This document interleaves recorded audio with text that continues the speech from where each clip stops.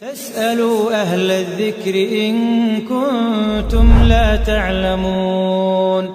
آه، تسأل أيضا أختنا سنة من الأردن كيف يعرف الإنسان أنه قريب من ربه؟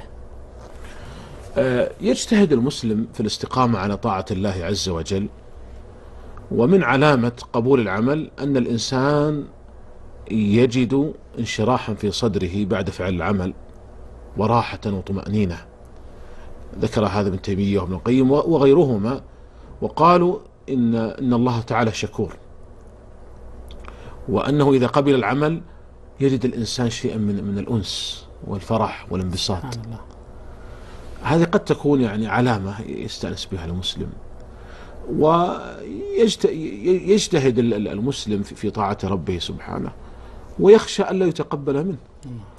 ولهذا يقول الله عز وجل والذين يؤتون ما آتوا وقلوبهم وجلة أنهم إلى ربهم راجعون. وجاء في تفسيرها أنه هو الرجل يعمل الأعمال الكثيرة من الصلاة والصيام والزكوات والصدقات ويخشى ألا يتقبل منه. قال البخاري في صحيحه قال ابن أبي مليكة أدركت ثلاثين من أصحاب النبي صلى الله عليه وسلم كلهم يخاف النفاق على نفسه. الله.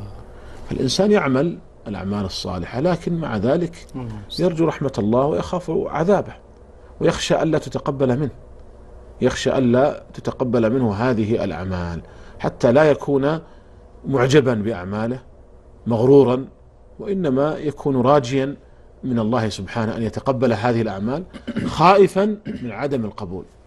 نعم.